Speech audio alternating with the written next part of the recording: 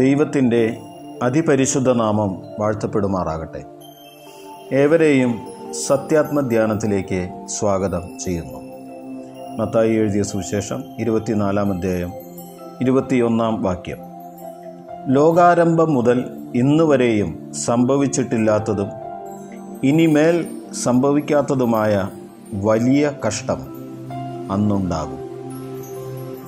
കഴിഞ്ഞ ദിവസം നാം ചിന്തിച്ചത് സഭാ കാലയളവ് അഥവാ സഭാ യുഗത്തെക്കുറിച്ചായിരുന്നു. ഇതിനെ കൃപായുഗം എന്നും വിളിക്കുന്നു. കാരണം മാനവരാശിയുടെ സൃഷ്ടി മുതൽ ഇത്രയും യുഗങ്ങൾ കഴിഞ്ഞിട്ടും അനേകം പ്രവാചകന്മാരിലൂടെയും ദർശകന്മാരിലൂടെയും ദൈവം ഇടപെട്ടിട്ടും ദൈവത്തിങ്കിലേക്ക് തിരിയാത്ത മനുഷ്യനെ അവസാനമായി ഒരു അവസരം കൂടെ നൽകുക എന്നതായിരുന്നു കൃപായുഗത്തിലൂടെ ദൈവത്തിന്റെ പദ്ധതി. ജാതികളായവർക്കും ഒപ്പം തന്റെ വാഗ്ദത്ത ജനത്തിനും രക്ഷയ്ക്കായുള്ള അവസരമാണ് സഭായുഗത്തിലൂടെ അഥവാ കൃപായുഗത്തിലൂടെ ദൈവം ഒരുക്കുന്നത്. അതിനായി തന്റെ പുത്രനായ യേശുവിനെ തന്നെയാണ് പിതാവായ ദൈവം നിയോഗിച്ചയച്ചത്. ഒപ്പം തന്നെ ദൈവത്തിന്റെ പരിശുദ്ധാത്മാവും ഈ ദൗത്യത്തിൽ പങ്കുചേർന്നു. യേശു സ്ഥലം ഒരുക്കാനായി സ്വർഗത്തിലേക്ക് പോയപ്പോൾ ആ ദൗത്യം പരിശുദ്ധാത്മാവ് ഏറ്റെടുത്തു. അതായത് ഒരു ആത്മീക കൈമാറ്റം നടന്നു. പെന്തക്കോസ് നാളിൽ ഭൂമിയിലേക്ക് ഇറങ്ങി വന്ന പരിശുദ്ധാത്മാവ് ഇതുവരെയും പ്രവർത്തിച്ചു കൊണ്ടിരിക്കുന്നു കർത്താവിന്റെ മേഘപ്രത്യക്ഷത വരെയും അത് തുടരും. അനേകങ്ങളോട് സുവിശേഷം അറിയിക്കുക എന്ന ദൗത്യത്തിൽ ദൈവജനത്തെ വഴി നടത്തുന്നത് ഈ പരിശുദ്ധാത്മാവാണ്. ഈ പരിശുദ്ധാത്മാവാണ് പാപത്തെക്കുറിച്ചും നീതിയെക്കുറിച്ചും ന്യായവിധിയെക്കുറിച്ചും ഇന്നും മനുഷ്യരെ ബോധ്യപ്പെടുത്തിക്കൊണ്ടിരിക്കുന്നത്. ഈ പരിശുദ്ധാത്മാവിന് മാത്രമേ ശാശ്വതമായ നീതിയും സമാധാനവും സന്തോഷവും നൽകുവാൻ സാധിക്കൂ. അധർമ്മമൂർത്തിയും അവന്റെ വ്യാപാര ശക്തികളും അതിന്റേതായ രീതിയിൽ പൂർണമായ തോതിൽ വെളിപ്പെടാത്തത് അവനെ തടുക്കുന്നവനായ ദൈവത്തിന്റെ പരിശുദ്ധാത്മാവ് വഴിയിൽ നിൽക്കുന്നതുകൊണ്ടാണ്. രണ്ട് തെസലോനിക്കർ രണ്ടാം അധ്യായത്തിൽ ഇതിന്റെ വിശദീകരണം നാം കാണുന്നു. അതിൽ ഏഴാം വാക്യത്തിൽ ഇപ്രകാരം പറയുന്നു അധർമ്മത്തിന്റെ മർമ്മം ഇപ്പോഴേ വ്യാപരിക്കുന്നുണ്ട്. ഇതുവരെ തടയുന്നവൻ വഴിയിൽ നിന്ന് നീങ്ങിപ്പോക മാത്രം വേണം. ഇതിൽ നിന്നും പരിശുദ്ധാത്മാവിന്റെ ദൗത്യം നാം മനസ്സിലാക്കുന്നു. തുടർന്ന് നമുക്ക് മഹാപീഡന കാലത്തിന്റെ ഉദ്ദേശം എന്താണെന്നതിനെക്കുറിച്ച് ദൈവവചനത്തിന്റെ അടിസ്ഥാനത്തിൽ ചിന്തിക്കാം. മഹാപീഡനകാലം എന്നത് എഴുപത് ആഴ്ചവട്ടത്തിന്റെ വിശദീകരണത്തിന്റെ വെളിച്ചത്തിൽ യഹൂദനുമായി അഥവാ ഇസ്രായേലുമായി മാത്രം ബന്ധപ്പെട്ടതാണെന്ന് ഒരുപക്ഷെ പെട്ടെന്ന് നമുക്ക് തോന്നാം. കാരണം യഹൂദന് വേണ്ട ആത്മീക ശുദ്ധീകരണത്തിന്റെ തികവ് എന്നതാണല്ലോ അവസാനത്തെ ഒരു ആഴ്ചവട്ടത്തിൽ അതായത് മഹാപീഡനകാലത്തിൽ സംഭവിക്കുന്നത് എന്ന് കരുതാൻ സാധ്യതയുണ്ട്. എന്നാൽ ഇത് മുഴു ലോകവും കേന്ദ്രീകരിച്ചാണ് സംഭവിക്കാൻ പോകുന്നത് എന്ന് ലൂക്കോസ് ഇരുപത്തിയൊന്നിന്റെ മുപ്പത്തഞ്ചിൽ നിന്നും നമുക്ക് മനസ്സിലാക്കാം. അവിടെ എഴുതിയിരിക്കുന്നു അത് സർവഭൂതലത്തിലും വസിക്കുന്ന ഏവർക്കും വരും. ഇതേ സൂചന തരുന്ന മറ്റൊരു വേദഭാഗമാണ് മർക്കോസ് എഴുതിയ സുവിശേഷം പതിമൂന്നാം അധ്യായം മുപ്പത്തിയേഴാം വാക്യം. ഞാൻ നിങ്ങളോട് പറയുന്നതോ എല്ലാവരോടും പറയുന്നു ഉണർന്നിരിപ്പിൻ. ഇനി മഹാപീഡന കാലത്തിന്റെ ദൈവിക ഉദ്ദേശങ്ങൾ എന്താണെന്ന് നമുക്ക് നോക്കാം. ഒന്ന് നാം നേരത്തെ കണ്ടു യാക്കോബിൽ നിന്ന് അഭക്തിയെ മാറ്റുക.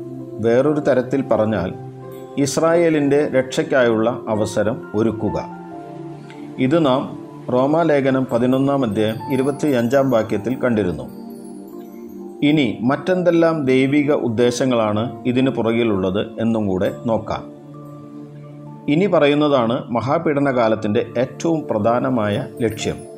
അതായത് കഴിഞ്ഞ യുഗങ്ങളിലൂടെയെല്ലാം സാത്താൻ വിതച്ച തിന്മയുടെ വിത്തുകളുടെ ശേഖരണവും അതിനെ നശിപ്പിക്കലും.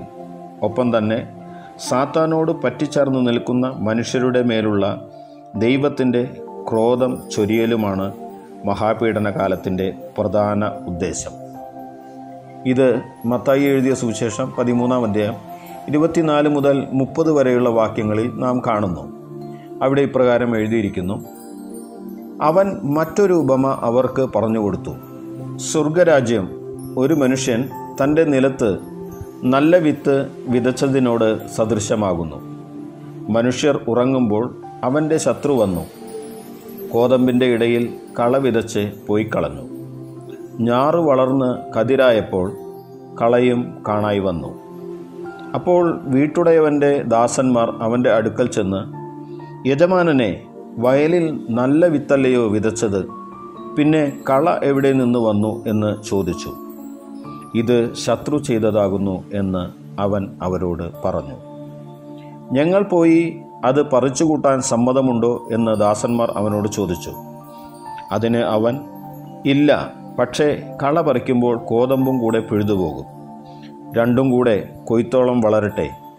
കൊയ്ത്തുകാലത്ത് ഞാൻ കൊയ്യുന്നവരോട് മുമ്പേ കള പറിച്ചുകൂട്ടി ചുട്ടുകളയേണ്ടതിനെ.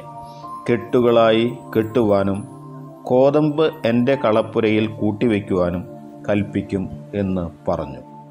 വളരെ മനോഹരമായ ദൈവിക പദ്ധതിയുടെ കാലാകാലങ്ങളിലുള്ള ഒരു വിശദീകരണം കൂടെ ഇതിൽ നിന്നും നമുക്ക് കിട്ടുന്നു. പലതിനും നമ്മൾ മനുഷ്യർ ചിന്തിക്കുന്നത് പോലെ തിടുക്കത്തിൽ തീരുമാനമെടുക്കാൻ അഥവാ നീതി നടപ്പാക്കാൻ കർത്താവ് ആഗ്രഹിക്കുന്നില്ല. അല്പം കൂടെ സമയം തരുന്നു. യഥാർത്ഥത്തിൽ ഈ സമയമാണ് നമ്മുടെ ഇപ്പോഴത്തെ സഭാ കാലയളവ്. പക്ഷേ പലപ്പോഴും ഇത് മനുഷ്യൻ ചൂഷണം ചെയ്യുന്നു.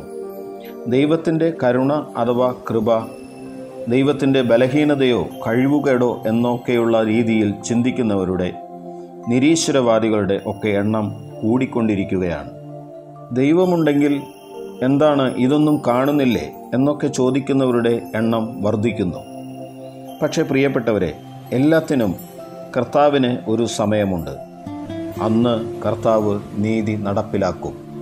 അത് അതിതീക്ഷ്ണവും വിട്ടുവീഴ്ചയില്ലാത്തതും ആയിരിക്കും. അതിന്റെ ഒരു നിഴലും മുന്നോടിയുമൊക്കെയാണ് ഒരു സൂചനയാണ് ഇപ്പോൾ ലോകമെങ്ങും പടർന്നു പിടിച്ച മഹാമാരി. തുടർന്നും മഹാപീഡന കാലഘട്ടം നാം വിശദമായി പഠിക്കുമ്പോൾ ഇന്ന് കാണുന്ന ഈ മഹാമാരിയും പ്രകൃതിക്ഷോഭങ്ങളുമൊക്കെ എത്ര നിസ്സാരമെന്ന് നമുക്ക് മനസ്സിലാകും. മഹാപീഡന കാലത്തിന്റെ മറ്റൊരു ഉദ്ദേശം സാത്താന് നേരെയുള്ള ഒരു താക്കീതിന്റെ അഥവാ പ്രവചനത്തിന്റെ നിവൃത്തിയാണ്. യശയാ പ്രവചനം പതിനാലാം അധ്യായം പന്ത്രണ്ട് മുതൽ പതിനഞ്ച് വരെയുള്ള വാക്യങ്ങളിൽ ഇത് നാം കാണുന്നു. അവിടെ അരുണോദയ പുത്രനായ ശുക്രൻ അഥവാ സാത്താനായി മാറിയ ലൂസിഫർ വെട്ടേറ്റ് നിലത്തു വീഴുവാൻ ഉണ്ടായ കാരണത്തെക്കുറിച്ച് പറഞ്ഞിരിക്കുന്നു. അഹങ്കാരത്തോടെ ദൈവം വെച്ചിരിക്കുന്ന അതിർത്തികൾക്കപ്പുറത്തേക്ക് അതായത് ദൈവത്തിന്റെ സിംഹാസനത്തിന്റെയും മീതെ തന്റെ സിംഹാസനം വയ്ക്കാൻ ആലോചിച്ച സാത്താനെ ആ ക്ഷണം തന്നെ ദൈവം വെട്ടി നിലത്തേക്കിട്ടു. തുടർന്ന് ആ വേദഭാഗത്തിന്റെ അവസാനം പതിനഞ്ചാം വാക്യത്തിൽ പറയുന്നു എന്നാൽ നീ പാതാളത്തിലേക്ക് നാശകോപത്തിന്റെ അടിയിലേക്ക് തന്നെ വീഴും. ഈ വീഴ്ചയുടെ അതായത് സാത്താന്റെ വീഴ്ചയുടെ വിവിധ ഘട്ടങ്ങൾ start your day with God's word എന്ന പ്രതിദിന വചനധ്യാന ചിന്തയിലെ ഇരുന്നൂറ്റി എഴുപത്തി രണ്ട് മുതൽ ഇരുന്നൂറ്റി എഴുപത്തിയേഴ് വരെയുള്ള എപ്പിസോഡുകളിൽ വിശദമായി വിവരിച്ചിട്ടുണ്ട്. അതുകൊണ്ട് തന്നെ അതിലേക്ക് വീണ്ടും പ്രവേശിക്കുന്നില്ല.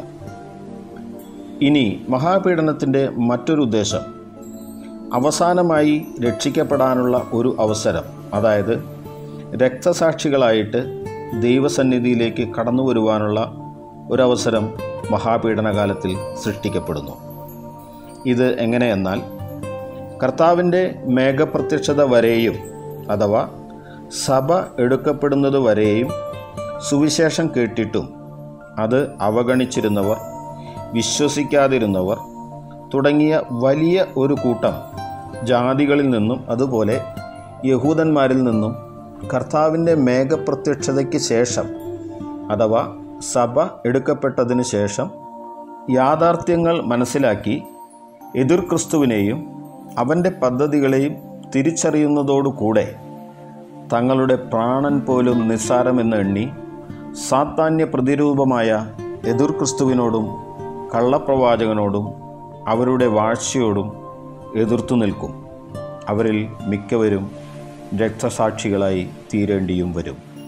ഇങ്ങനെ രക്തസാക്ഷി മരണം വരിച്ചവരുടെ രണ്ട് കൂട്ടങ്ങളെ നാം വെളിപാട് പുസ്തകം ആറ് ഏഴ് അധ്യായങ്ങളിൽ കാണുന്നു. വെളിപാട് പുസ്തകം ആറാം അധ്യായം ഒമ്പത് പത്ത് വാക്യങ്ങൾ അവിടെ പ്രകാരം എഴുതിയിരിക്കുന്നു. അവൻ അഞ്ചാം മുദ്ര പൊട്ടിച്ചപ്പോൾ ദൈവവചനം നിമിത്തവും തങ്ങൾ പറഞ്ഞ സാക്ഷ്യം ഹേതുവായും അറുക്കപ്പെട്ടവരുടെ ആത്മാക്കളെ ഞാൻ യാഗപീഠത്തിൻ കീഴിൽ കണ്ടു. വിശുദ്ധനും സത്യവാനുമായ നാഥ ഭൂമിയിൽ വസിക്കുന്നവരോട് ഞങ്ങളുടെ രക്തത്തെക്കുറിച്ച് നീ എത്രത്തോളം ന്യായവിധിയും പ്രതികാരവും നടത്താതെയിരിക്കും എന്ന് അവർ ഉറക്കെ നിലവിളിച്ചു. ഇവർ മഹാപീഡനകാലത്ത് മഷിഹ രാജാവായി വരുന്നു ദൈവരാജ്യം സ്ഥാപിക്കാൻ എന്ന് വിളിച്ചു പറഞ്ഞ യഹൂദന്മാരായിരിക്കും എന്ന് കരുതുന്നു. ഇത് എതിർക്രിസ്തുവിന് അനിഷ്ടമായതുകൊണ്ട് തന്നെ അവൻ അവരെ ശിരച്ഛേദം ചെയ്യിക്കും. മറ്റൊരു വലിയ കൂട്ടത്തെ നാം വെളിപാട് പുസ്തകം ഏഴാം അധ്യായം ഒമ്പത് മുതൽ പതിനാല് വരെയുള്ള വാക്യങ്ങളിൽ കാണുന്നു.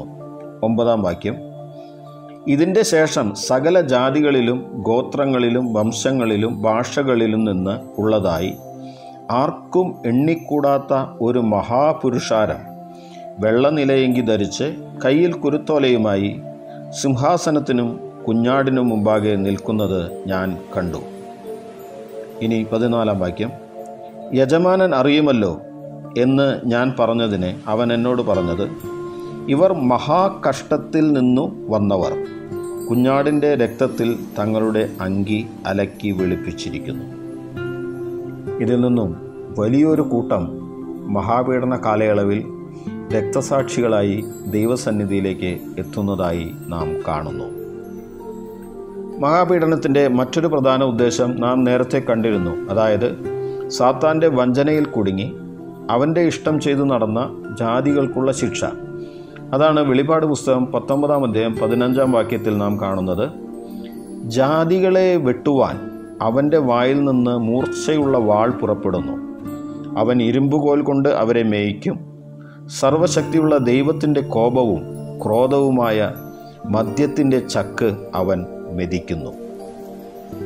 ജാതികളെ വെട്ടുന്ന മൂർച്ചയുള്ള വാളെന്ന് പറയുന്നത് ദൈവത്തിന്റെ വചനമാണ്.